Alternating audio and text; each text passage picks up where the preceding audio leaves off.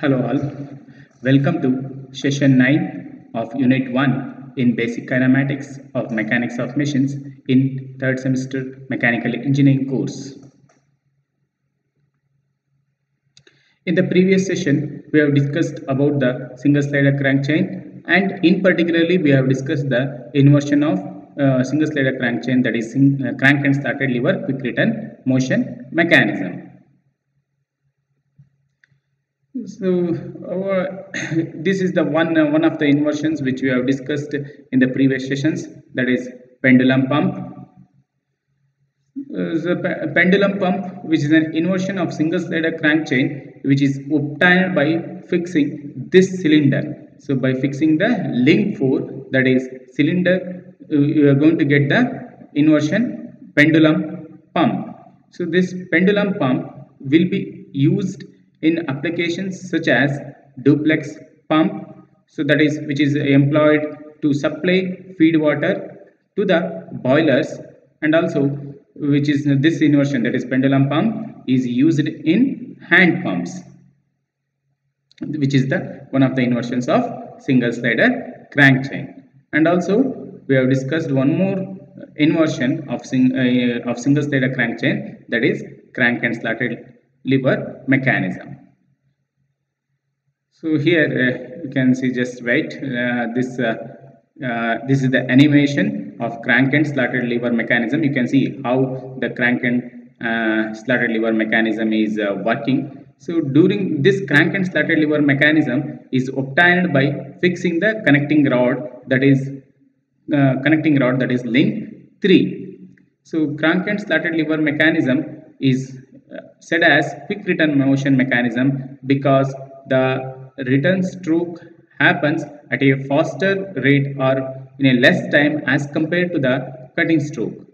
So crank and slotted lever mechanism is used to convert rotary motion of crank into the reciprocating motion of the uh, ram. So here uh, with this mechanism that is crank and slotted lever mechanism is employed or which is used in shaping machines, slotting machines and pick and place mechanisms. These are some of the applications of crank and slotted lever mechanisms. Okay, some of the inversions which which are also highlighted are Whitworth quick return motion mechanism, uh, oscillating cylinder engine, or the few more inversions of single slider crank chain. So these are the things which you, which we have discussed in the previous session.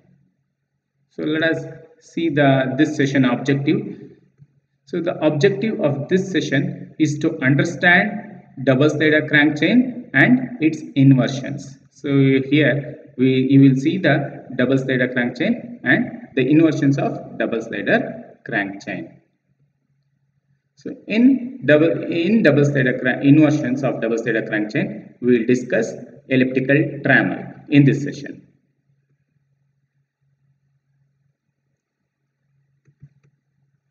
So let us see the uh, double slider crank chain in detail.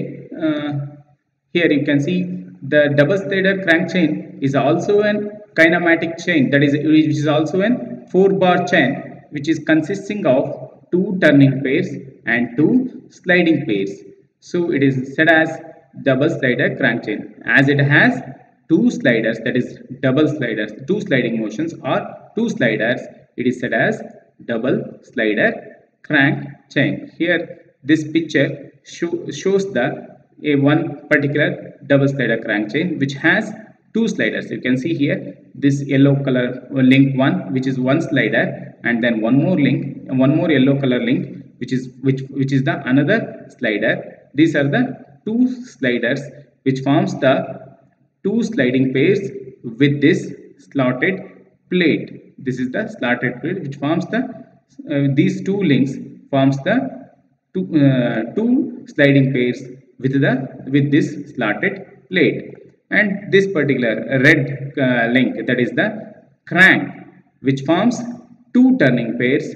This crank forms the two turning pairs with this that is one slider and with the another slider that is the two turning pairs so this is a this is about the double slider crank chain. So what is double slider crank chain? So double slider crank chain is a kinematic chain or it is a four bar chain which consists of four turning pairs and two sliding pairs.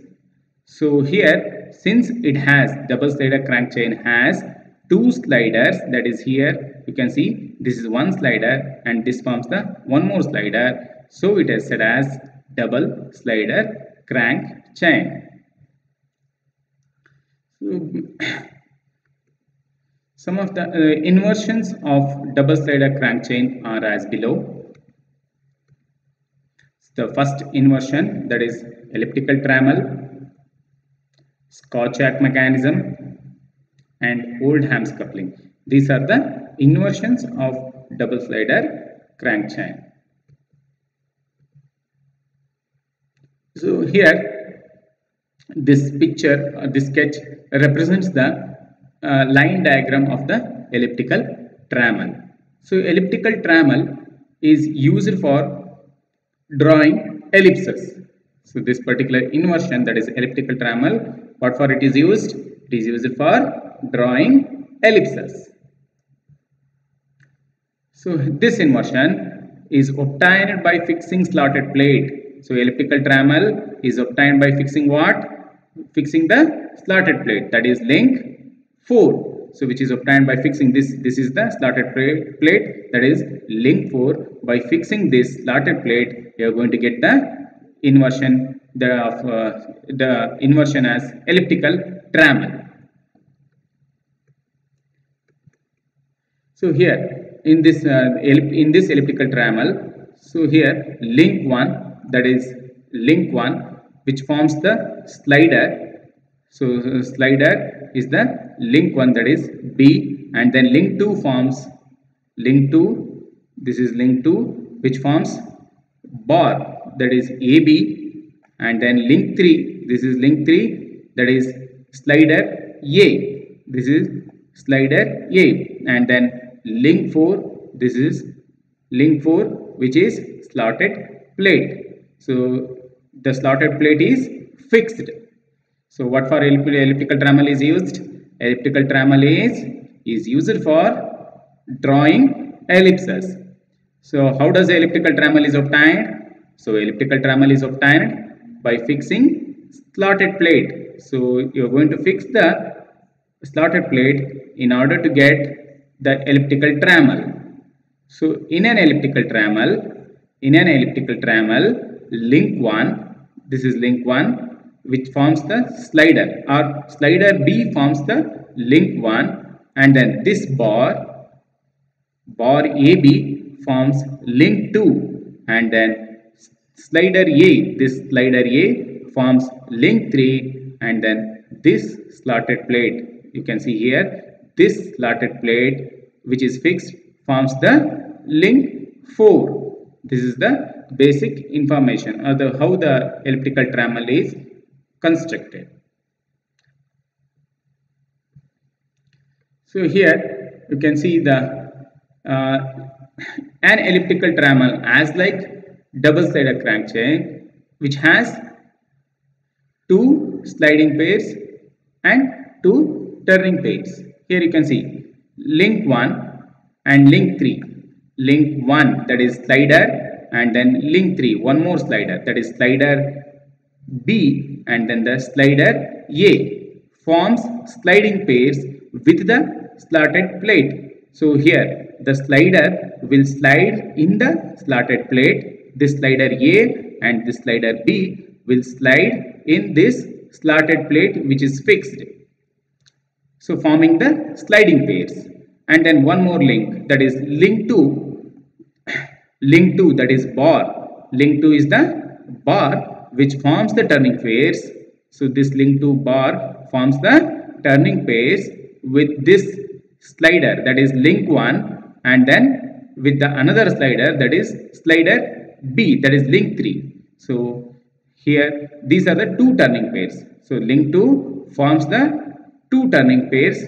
Link 2 that is AB bar forms the two turning pairs with the slider with the slider A and slider 1 that means link 1 and 2 forms one turning pair and link 3 and 2 forms one more turning pair. I repeat.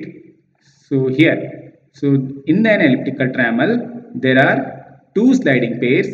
So there are two turning pairs which are formed from the sliders that is link 1 and 3 with the slotted plate that is link 3 and 4 forms one sliding pair and then link 1 and 4 sorry here link 3 and 4 forms one sliding pair and link 1 that is slider B and slotted plate forms one more sliding pair. So here in the, in the next uh, there are two turning pairs formed with the help of this bar. So here bar forms two turning pairs with the what is the with the first one is slider and then the slider B and the other one is the slider A.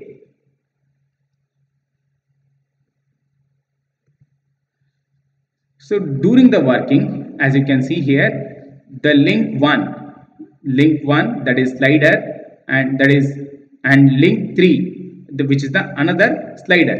So the, this these two that is yellow uh, color parts yellow color links will forms the slider uh, the forms the slider that is link 1 and link 3 or slides link 1 and uh, 3 slides in their respective grooves of the connecting sorry slotted plate so here during the working link 1 and link 3 slides in their respective grooves of the slotted plate. So at any point of time in the uh, bar at any point of uh, in the bar link 2 that is bar is the link 2 which traces an ellipse. You can see how it is tracing an ellipse in this animation.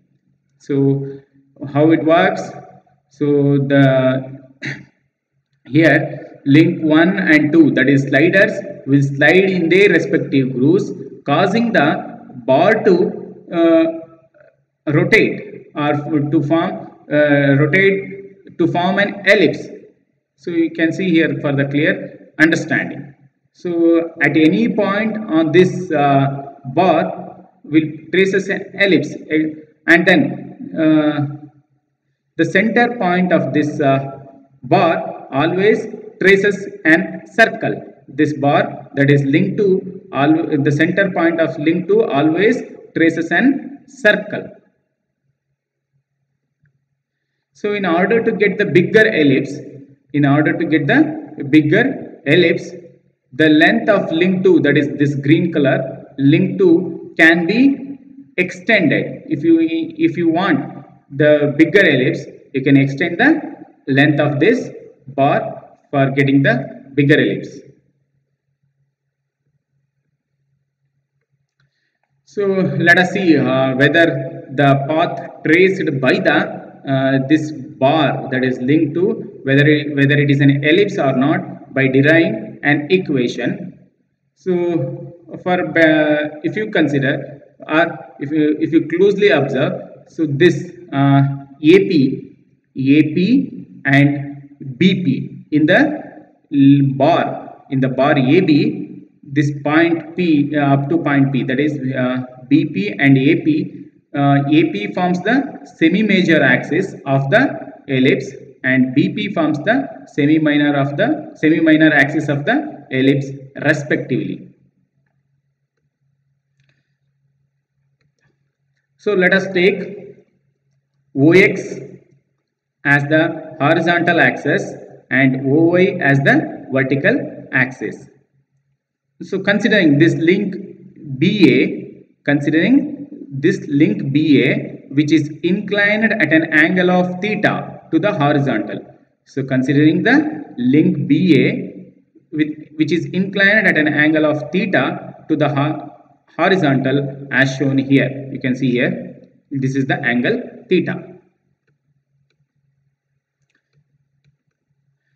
So now the coordinates of the point P on the link B will be.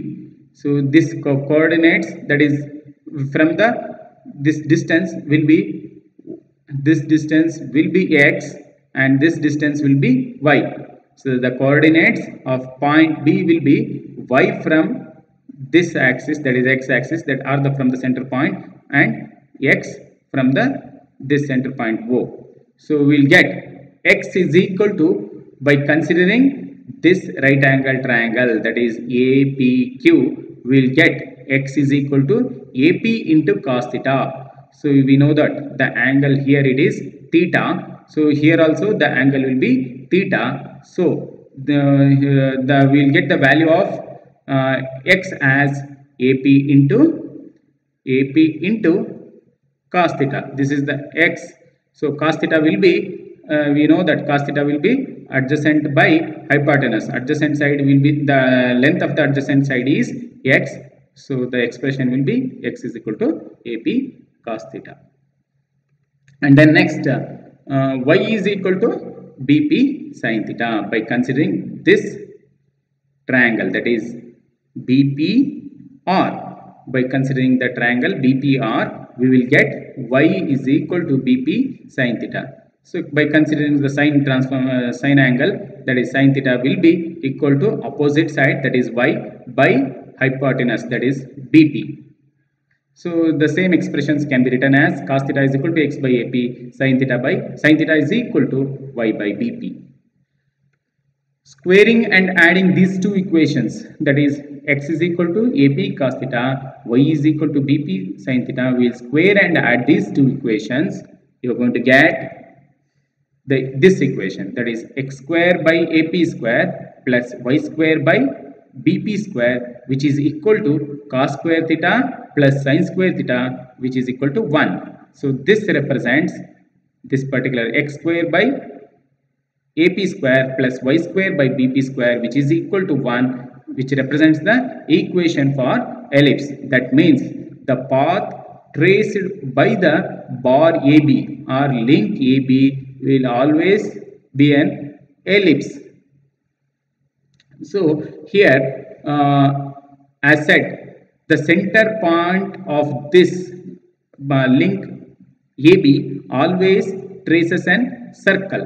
That is uh, center point of link AB which traces an circle. So if you closely observe the center point means the the length of BP will be equal to length of AP what will happen to the equation the equation uh, becomes x square by AP square plus y square by bp square will be replaced with the ap square. So then the uh, x square by ap square plus y square by ap square which is equal to cos square theta plus sin square theta. So the here in the next stage we can write the equation as x square plus y square which is equal to ap square. So which is an equation for the circle. So that means always center point on this bar traces an circle. This is about the elliptical trammel.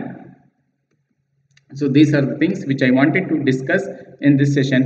Uh, so elliptic, what for elliptical trammel is used? So elliptical trammel is used to draw the uh, ellipse.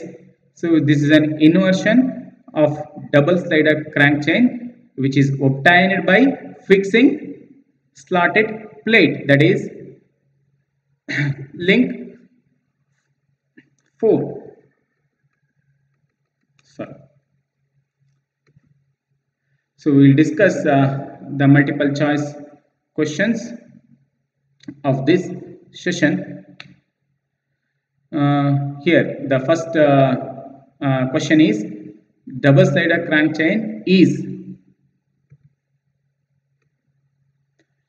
what whether the double slider crank chain is a 4 bar chain 5 bar chain 6 bar chain compound mechanism so double slider crank chain is is a four bar chain because it has four bar links.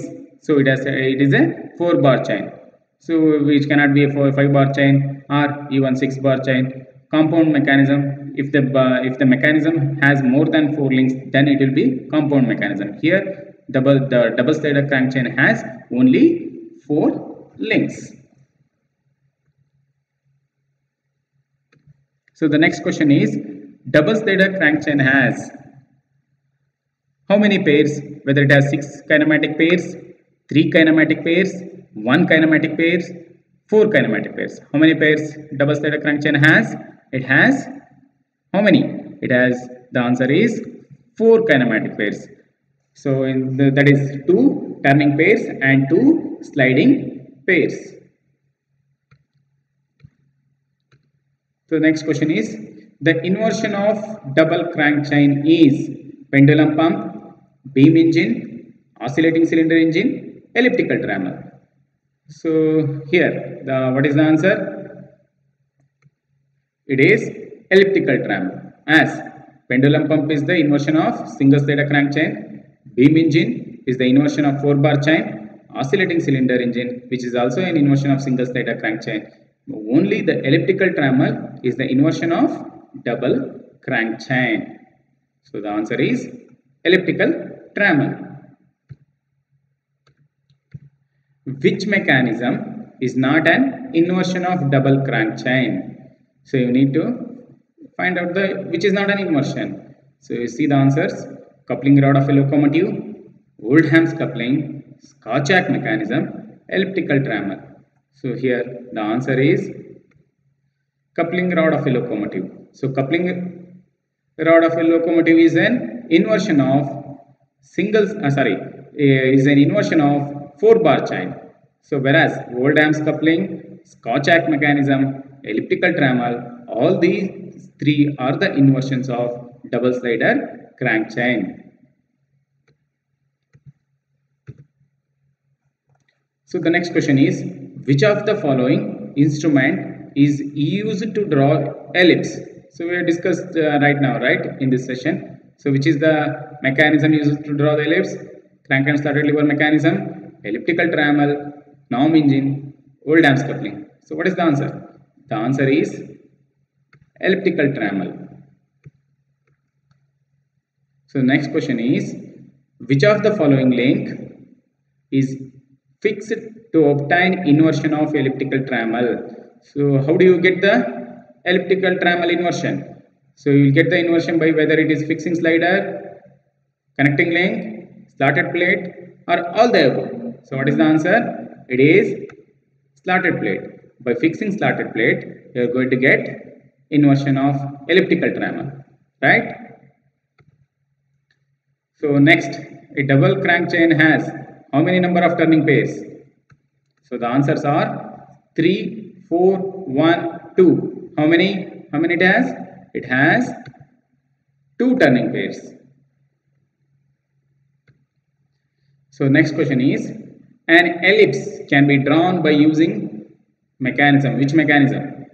By using crank and slotted lever mechanism pendulum pump scotch-yoke mechanism elliptical trammel by using which we can draw the ellipse? So the answer is it is elliptical trammel so the next question is a point on a connecting link of a double slider crank mechanism traces a what kind of path? Whether it is a straight line path hyperbolic path parabolic path elliptical path. What is the answer? It is elliptical path. So the next question is a mechanism in which two are turning pairs and two are sliding pairs is called a double slider four bar chain single slider and none of the above. So what is the answer? It is double slider crank chain. So as the name implies it should, double slider has two sliding pairs so the answer is double slider crank chain so these are the, some of the descriptive questions which you can expect in the end of the semester examinations from this session. So the first one is uh, explain double slider crank chain mechanism with a neat sketch. So you should be uh, if you can choose any of the double slider crank chain mechanism and you can explain with a sketch. Okay.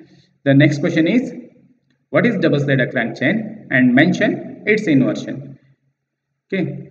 Uh, and then next is explain with a neat sketch elliptical trammel so the next question is explain a mechanism which is used for drawing ellipses. So here slightly they have twisted the questions. So you can uh, you can you have to write the same answer. That is you need to uh, draw the elliptical trammel with a sketch. So elliptical trammel is used for drawing ellipses right? So these are the things which i wanted to discuss in this session. So here the reference book is uh, that is uh, for this subject is theory machines by rs Khurmi and jk gupta. So thank you. Thank you for patience listening of this session